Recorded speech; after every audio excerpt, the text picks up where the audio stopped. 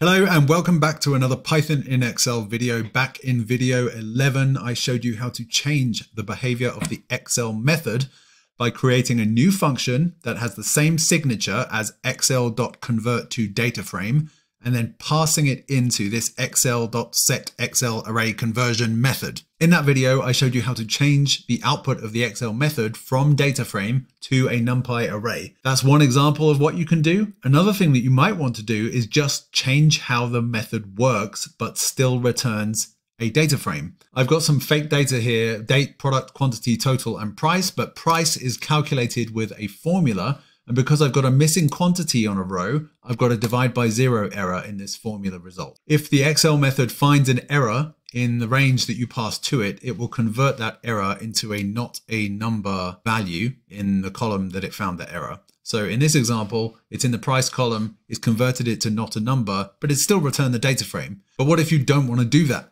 What if you want the Excel method to fail and throw an error if it finds an error in the source data? We can use the same approach as video 11 to achieve this behavior. In this cell, I've created a new function called convert to df no errors. What I'm doing is I'm taking the list of lists, which is x, and that's essentially the range that you pass to the Excel method. And I am first iterating over the rows. The enumerate method returns the row position and the row itself. The row is a list of values which correspond to each of the columns in that row. So we can then enumerate over the columns in the row, get the column index, and get the value from the cell. We can then check, is the value in the cell an exception? So is it a divide by zero error?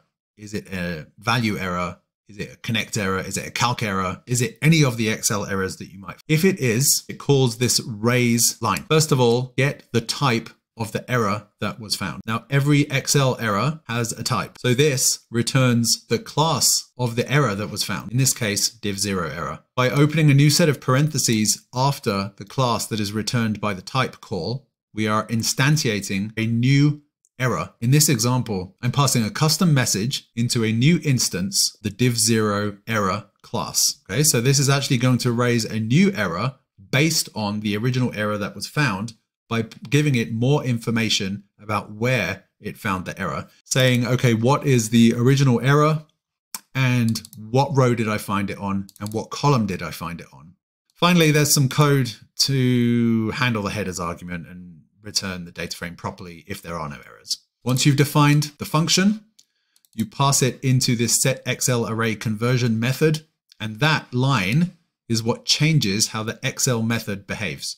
So just to recap, before we make the change, the div0 error is converted into a not a number value because that's the default behavior. After we make the change, we get this lovely error message, which is div0 error. The error is found on row 10, column 4. Remember, Python is zero indexed, so that's going to be spreadsheet row 11 and spreadsheet column 5. Let's see what happens when we change the, let's see what happens when we change uh, value or put a, a fake value, a fake error in here. So let's put a calc error here. That recalculates. Now we've got calc error at row 1, column 3. So that's pretty much it.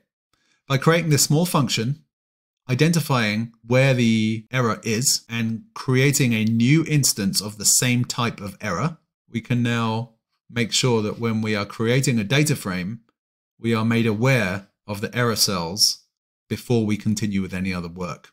So we can go back and fix these error cells and then recreate the data frame and be sure that any not a number values are due to empty cells and not due to converted errors. And that's the end of the video. Have a great day.